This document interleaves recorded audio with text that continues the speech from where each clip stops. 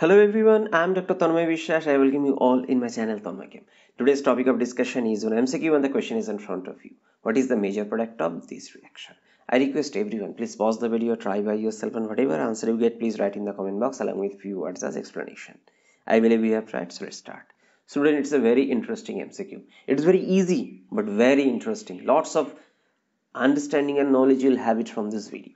Now, if you look at this more reaction. So this is your starting material. It has two functional group. One is this alkene another is this alcohol. And reaction takes place with Br in CH2Cl2 means it's called dichloromethane or DCM it is acting here as solvent. Now question. So two types of functional group exist alkene versus OH which one will react with bromine? Obviously alkene why? Because remember oxygen electronegative atom, bromine electronegative atom bond is not that much stronger. Second point. Then how this alkene will react with bromine? Remember alkenes, they have a pi bond. Pi bonds are made by parallel or sidewise overlap of this p orbital. So it is not that much stronger compared to sigma bond because in this case the electron density remains in between these two lobes but in case of sigma bond, the electron density remains exactly in between the two nucleus. So from that point, you can say, okay, the electron density is strongly attracted by the two nucleus, so more stable. So that's the reason why pi bond reacts and results in a sigma bond. We have uh, observed that, okay, addition reaction on alkene resulted in alkene like that. Now here, if you look at it, it's a bromine. Bromine means Br, Br single bond and generally if you look at bromine these molecule have induced dipole induced dipole interaction. What do i mean? So a, each of the bromine atom has three lone pairs of electron. And if two bromine atom prefers to come closer this electron electron repulsion will take place. So in order to encounter this what this molecule does?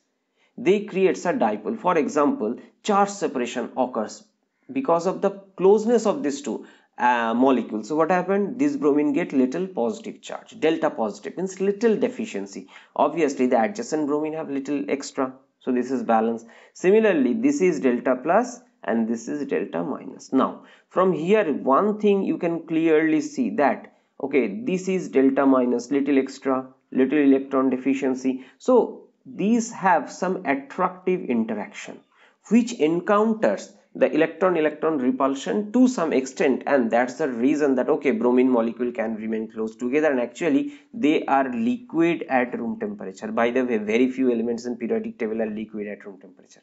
Now um, so next point.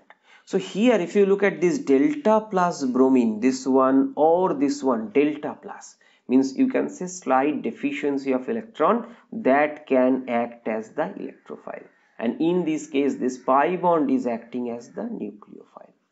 Okay. So how the reaction take place?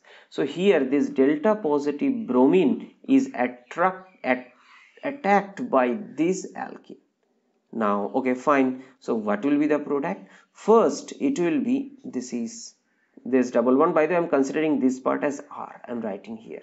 Now bromine will come here. As the positive charge goes there means it is relatively more stable. Cation by the way now actually it is not. Generally we write but if you want to learn little details i request you student please visit i have already made a dedicated lecture. Now why br minus? Because this pi bond attacked with its bond pair so this br leaves as a minus now there are two chances that okay this br can attack there and result 1 to addition but trans fashion but actually this doesn't happen. This why i'm saying because you see bromine addition to alkene is anti addition why selectively anti? Because this is not. Actually the intermediate is this one. And how this is formed? So this bromine molecule this bromine atom has three lone pair. So one of the lone pair attacks there and forms this three member. Since it's a neutral bromine atom when it attacks so it get a formal positive charge. That's why this is called as bridge bromonium ion. Okay. I'm saying it's actually positive charge means deficiency of electron. That's the reason both of these carbons are delta positive or electrophilic. And the next time this bromine attacks from the backside. Look at there's a three member ring bromine can attack here from the backside here from the backside and will result anti addition now let's look at what's hap exactly happening here Now here there is a two chance. You can say sir right now Br minus can attack or this oxygen can participate in the form of NGP or neighboring group participation. What happens? So this oxygen will can attack any of the carbon atom but how can I understand where the attack will take place? For that purpose this numbering is very useful. 1, 2, 3, 4, 5, 6. It is always not compulsory to write the numbers. For your understanding I am writing but this counting strategy is very helpful to reduce error. So what happens here in this case student? This one of the lone pair actually attacks. And it opens up. Now you can say why sir? Why the attack happens here not the here? Remember if i say relative position so it indicates the ring formation six member ring formation is more stable compared to the seven member because of reduction of ring strain. Seven member ring has higher ring strain compared to six member ring. Now again since 1 6 addition so draw a 6 member ring and position number 1 put oxygen the attacking atom.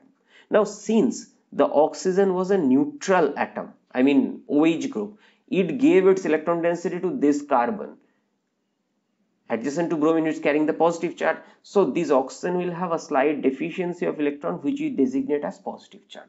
By the way still one lone pair will remain. Now these will attach to carbon number 6 and what is the carbon number 6 it is attached to one methyl group. So let's draw methyl. Again this bromine gone. So here there is a CH2Br so this side CH2Br now how can I get the product? Actually it is not mentioned. So you can expect okay sir oxygen is carrying a positive charge because electronegative atom carrying positive charge is not that much stable. And obviously as a counter anion Br minus there I mean this one produce this molecule CH3 CH2 Br.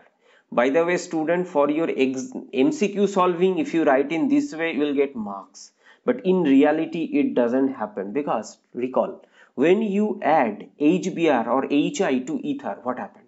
One equivalent of HBr or HI so you get one equivalent of alcohol one equivalent of alkyl bromide. But if you take excess all are converted to alkyl halides. That's the thing we have studied. So here this oxygen will remain in the protonated form unless you do workup. And workup means I am talking about alkaline workup because that will consume this HBr but I will not focus because in this way we got your answer. But here one question which we previously discussed that why these Br didn't attack which was intermolecular reaction. And here this OH attacks. Why? It's NGP it's neighboring group participation. Why the neighboring group participation got preference over this intermolecular reaction? So which one is more favored between intramolecular versus in intermolecular reaction? Let's learn. Actually intramolecular reaction get preference over intermolecular. Why? Because this intra student intentionally I am pronouncing in such a way that you do not have any confusion. So intramolecular reactions are more favorable compared to corresponding intermolecular counterpart because of proper conformational orientation during the atoms or molecular collision to make a bond. I know you'll be confused sir it's a too long statement. Recall SN2 reaction. In SN2 reaction what do you observe? Backside attack why backside attack? Because we have observed, okay, the nucleophile gives its electron density to the sigma star of carbon leaving group bond. By the way, if you have any doubt on this statement, I shall upload, a, I shall provide a link, corresponding video, visit. So only backside attack can take, result in a SN2 reaction. But if you say, okay, sir, if front side attack happen, will it result in a reaction? No, there will be no reaction. So that part is deal with proper conformational orientation which is essential for bond formation and in this context I want to mention that 3 member and 5 member ring formation is preferred over 6 member so that's why you see 3 member ring formation chance is there formed very easily. 5 member ring formation formed very easily. But there is a but. If you look at the stability point of view means you may ask sir why then six member ring is formed here? This is because six member ring formation is a little less preferred because of conformational orientation but it is more stable means i mean if you look at six three membering bond angle nearly 60 degree. Actually it is not 60 degree but banana bond i'm not going. So here 60 degree. If you say five membering the bond angle is nearly 107 degree. But ideal bond angle for sp3 hybridization should be 109.5 degree. And in case of six member ring that at could be attained. Now because of some steric requirement it can change from case to case basis but sp3 case this 109.5 degree could be attained in the single in the six member ring not in this structure. Actual structure is this one. Practice drawing very important. Otherwise you may draw wrongly. So now if you look at here these angle close to this 109.5 so six member ring is more stable because it is associated with lowest ring strain so that is the reason this six member is formed. Now if you say sir second seven member, seven member have some angle strain. So that's why this attack did not take place at this position. Okay. Now I guess you have understood this part. Now what is the major product in this reaction? Obviously this one CH2Br this is CH3O this cyclic one six member ring. Now if you get these question in your exam how can you solve it in less than 30 seconds? Possible student. I know apparently look difficult but possible how. So we know that okay OH there double bond there so bromine will react with double bond. So addition reaction will take place. By the way if you look at every case happening. Now bromine addition how and why? Now first you should remember one information that this alkene addition proceeds through bridge bromonium ion as intermediate. Always bridge bromonium, bridge chloronium, bridge iodonium etc. So, okay, intermediate. Now, after intermediate, what can happen? Addition. Now, just imagine you do not know this. You do not have that much idea. Then how can you solve? By the way, please study.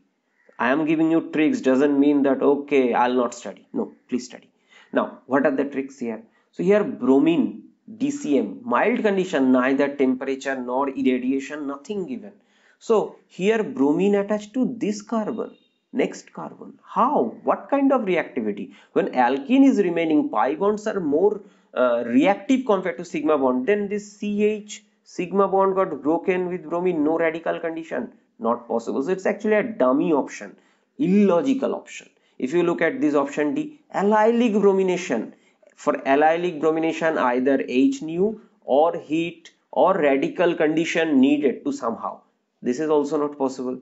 Now this is called student process of elimination. In this way you can make your life easier. Now there is a question. Okay one to addition versus this ring formation which one will prefer? That thing i have already explained.